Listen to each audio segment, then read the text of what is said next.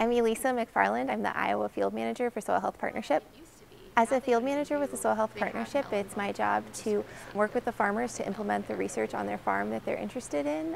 I work with them to come up with a plan that meets what their goals are for achieving soil health and then also what works with their own management strategy. And I also plan events and network with the other efforts throughout Iowa to improve soil health and water quality I think soil health is really important to agriculture because it's it's the new new frontier in agriculture. It's a it's something that we can learn a lot more about that we haven't known previously.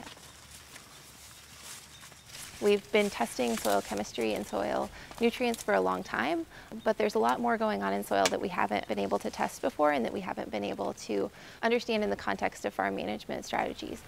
Soil Health Partnership in Iowa has a lot of different practices that we're testing um, depending on where we're at in the state and what the specific farmer is interested in. Um, a lot of that depends on soil type or um, other enterprises on the farm um, such as livestock.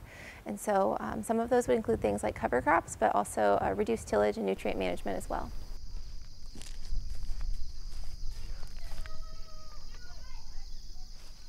Those three areas that we have for emphasis and practices in soil health, the reduced tillage, nutrient management, and cover crops, primarily are looking at covering the soil to reduce soil erosion and that also will increase infiltration by, by having that, that protective layer on the soil.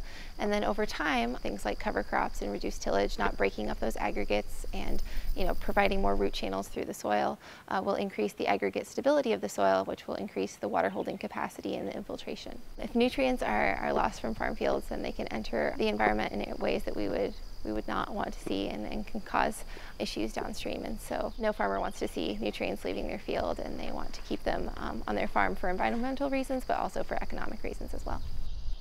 As a field manager for Soil Health Partnership, one of the things that motivates me most is my love of soil science.